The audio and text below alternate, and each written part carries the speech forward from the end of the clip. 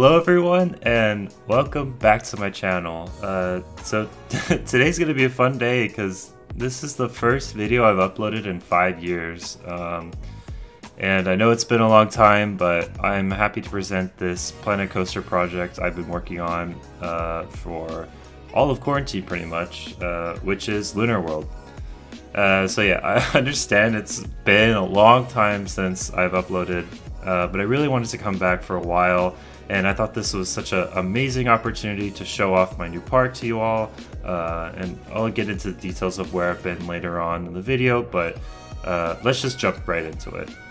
Uh, so, since this is a new series, I figured it would be a good would be a good idea to introduce the park, uh, describe what the theme is, um, the overall concepts, the master planning I've done, uh, and then later on, we'll jump into an actual builds that uh, we're going to accomplish uh, on the park today.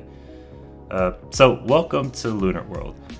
Uh, Lunar World is a vintage style park, essentially a, uh, a, a park set in like maybe the 1920s or the or the late 1820s. so it's it's a fun theme. I've always wanted to do something like this ever since the vintage DLC pack came out. I've also really just wanted to incorporate all of those pieces into a, a park. Um, so that's kind of where this developed from. And uh, it, it, imagine it just being a, uh, a cross between a Cedar Fair park and a Disney park. Uh, the Disney park having a lot of the well themed elements, well themed areas, dark rides, things like that and the Cedar Fair parks, or the or maybe a Six Flag park, uh, having all of the uh, roller coasters, high thrill rides, uh, which this park I'm trying to incorporate both of them.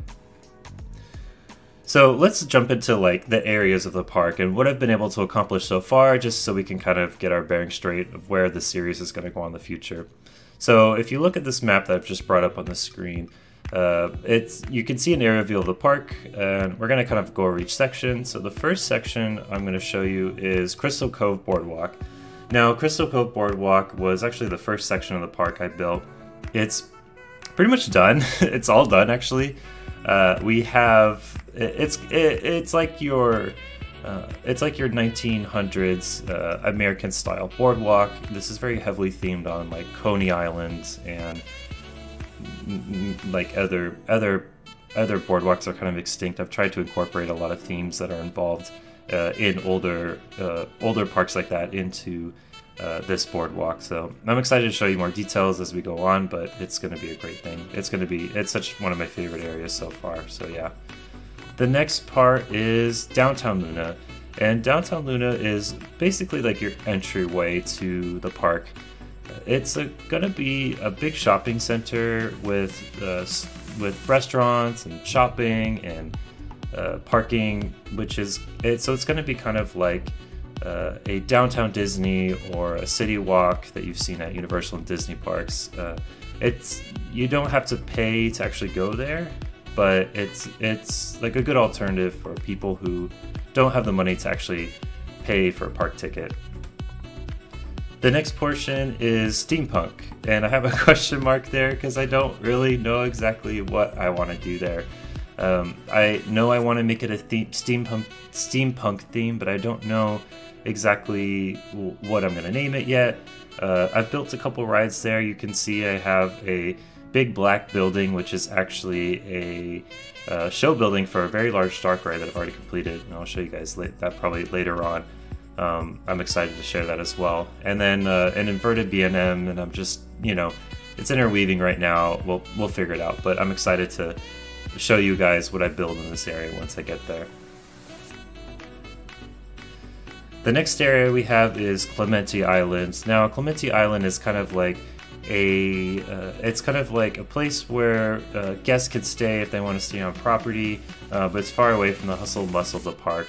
There's a ferry service that takes you to and from the park, and there's also a sky tramway that takes you to the island.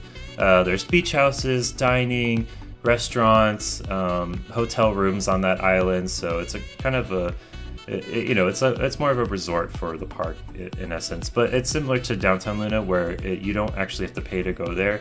It's just open up to the public, but um, you know, so it's it's a fun area, I would say. And finally, the area that I'm most excited for is Discovery Mountain. And Discovery Mountain is more or less a portion of the park that is based on an old Disney Disneyland concept that never came to be, which was uh, Discovery. I believe it's called Discovery Bay. Um, so it was a lot of like, I guess it was. I don't really know what it was. It was like a. Um, it was like supposed to be a theme for an age of discovery and it had like blimps and a lot of these kind of like vintage vibes that I also am including in my park. So when I heard about it, I was like, oh, that's so great. I want to include something like that. Um, so we're gonna have like a volcano. We have a Horror Heights ride built that I still need to complete. Um, it's gonna be like a lot of cool mountains. I'm thinking maybe like a San Francisco vibe, like a California Gold Rush vibe. So, uh, well, I'm excited to develop that area as well. So yeah, uh, I guess now that we've kind of run over the park, uh, let's jump into the build. Alright, so for today's build, we're going to be doing a project in the Discovery Mountain portion of the of the park, and uh, we're, we're pretty much going to be building a bridge for a train to run over to connect to our central train hub. Uh, you can kind of see um, off in the distance over there. Uh, currently the track is floating, so we need to build a bridge here. Um, so the inspiration that I'm gonna take is probably from like a San Francisco Golden Gate Bridge uh, suspension bridge type vibe. Uh, even the Bay Bridge is another big inspiration. Uh, so something like that, I think it'll be a pretty big focal point of the of the area. Specifically, you know, a lot of people will be looking over in this area, and I wanted this to look pretty cool and fun. So yeah, uh, I guess we'll just, it's pretty self-explanatory, I think, so let's just jump into the time lapse. Alright, so let's get on with this time lapse. Uh, so right now we're just kind of laying out where this bridge is going to go, how wide it's going to be, where the two ends are going to meet, where the suspensions are going to go, um, all that great stuff. So that's you know mainly what we're laying out here. Um, it was actually kind of difficult because I had a lot of different rides that I had already sort of planned out, and I wanted the bridge to interact in them in a way, but also not conflict the overall view. So, for example, you can see my uh, this red roller coaster that I have planned is going right through where one of the spires are going to go, and the train route just didn't make sense. So that's what I'm kind of correcting here. Um, this park is very interesting in that I wanted to make everything sort of interweave in itself, and uh, you know, including this bridge here. Uh, that's you know been my major goal. The goal as well is to make this park extremely compact um, and it fit as and fit as many rides as I can into one area. Uh, just because I think it's so cool when everything sort of is weaving in and out of stuff and uh, that's so you can see like this blue roller coaster I have, and this the red and the train, and you know, it's everything that I've I've always wanted to build a park like this, and that's kind of what I wanted to accomplish here. Uh, so yeah, right now I'm building a, a truss structure that's going to go under the train, and this essentially is meant to support the train itself and hold up where the suspensions are going to go. Um, if you look at the Golden Gate Bridge or even the Bay Bridge, you'll see these as truss-like structure going uh, under the road. So that's pretty much what I'm constructing here. And once this started going in, I was like, oh man, this is gonna look so cool. I love I love the color green that I picked. I think it goes well with the mountain in the back. Uh, the mountain's gonna be decked out with like rocks and trees and all kinds of fun stuff. But I think this color is gonna go well when that uh, whenever that goes in. Who knows when I decide to add all that foliage, but um, it's gonna look amazing when that does happen. So yeah, um, just kind of moving things around, and right now I'm building the suspension that's actually going up the side, you know, to connect to those two towers. And this was actually the hardest part, I would say.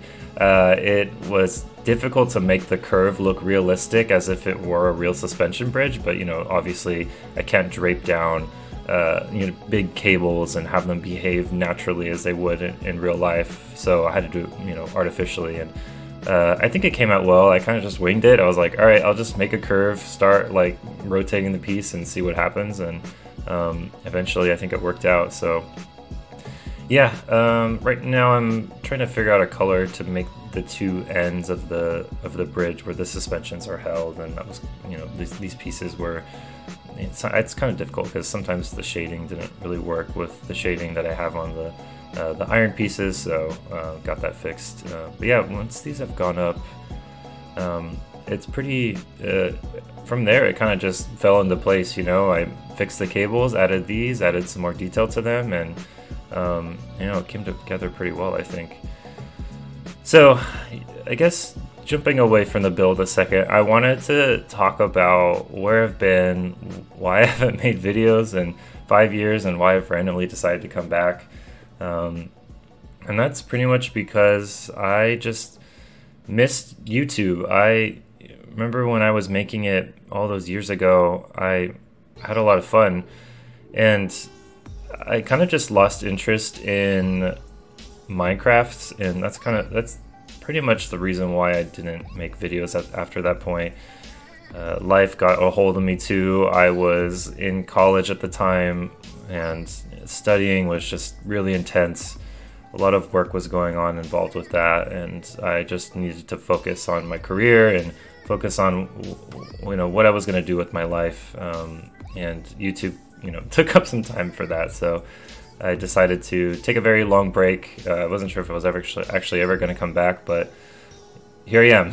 I like I said, I missed it. Wanted to do something new, and I've been playing Planet Coaster. I've been well, I've been playing Planet Coaster for a while, but this park actually really sparked uh, a lot of interest with Planet Coaster and me. And um, you know, I started this right when quarantine had started, like around March, April, and you know, ever, I've been working on this ever since, and you know, it's just evolved into something that's a lot bigger than I would have ever expected. You know, I planned this park to be very small, very um, compact, uh, but not having like a lot of rides. But I just kept getting into detail and detail, and I wanted to make it bigger and better, and that's where I am today. So um, I'm happy to be sharing it now, and um, I feel like I'm a little bit too late because I've already built so much of it. This park already has so much story to it that uh, I really want to get into someday.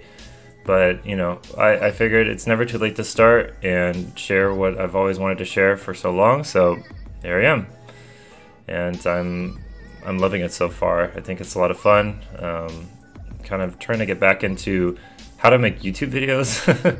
it's been years and years. I used to have a, a, system down, but you know things have changed drastically. So um, yeah, so here I am. So I guess getting back to the builds, uh, we're just sort of extending out the bridge. Um, right now we're just about to extend it out across a subway station that I have.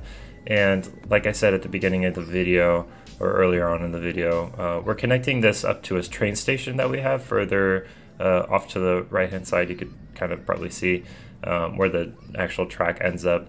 So where uh, you know I wanted to add different types of bridges, different character, and there's a portion of this of the Golden Gate Bridge where it has this sort of under curved arc, and uh, I wanted to incorporate something like that as well. I think different bridge designs are pretty interesting. I was looking at some images on Google and you know just trying to figure out what bridges look like, you know, uh, architecturally how they look like and how they you know how they're actually supported. So yeah, I just wanted to replicate that here, and I think it was really cool if I could build it over the subway station where the other train actually runs.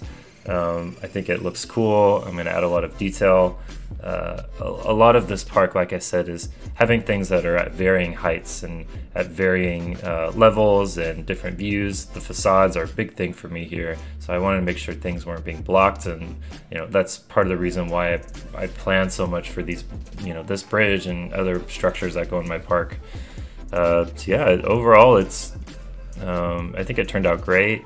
We're kind of nearing the end of the video. I'm just building one last sort of bridge to connect up to the train station. Um, and you know, just finishing out some details. This bridge is actually covering where the park entrance is going to go. This is like the second entrance to the park, so um, we're going to have to figure out a, good way to uh, decorate this, but um, you know, I'll figure that out eventually. Uh, but yeah, so we're kind of nearing the end of the time lapse. Thank you for watching this video. Uh, I'm so happy to be back, and let's jump into the B-roll of the bridge.